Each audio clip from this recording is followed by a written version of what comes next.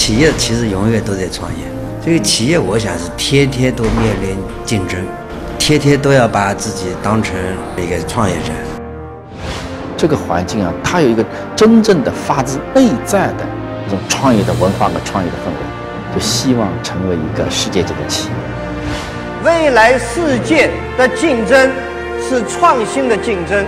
只有为世界注入创新的基因，我们才有未来。